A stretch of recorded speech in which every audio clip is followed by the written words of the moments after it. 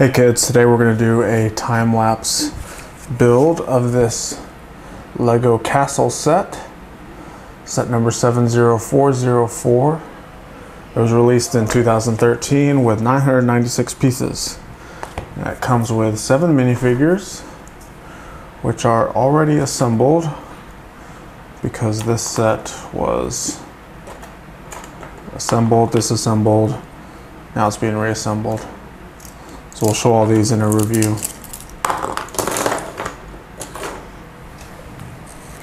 So, without further ado, let's get this going. Hold on tight. This is going to go fast.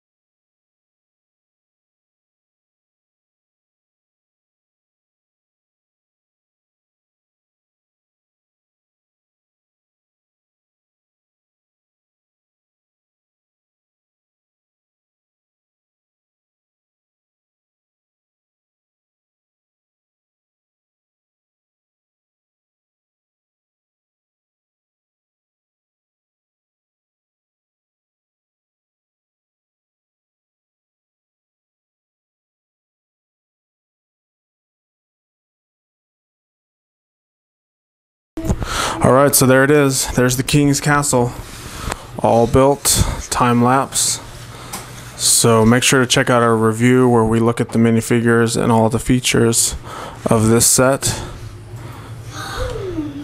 All right, thanks for watching.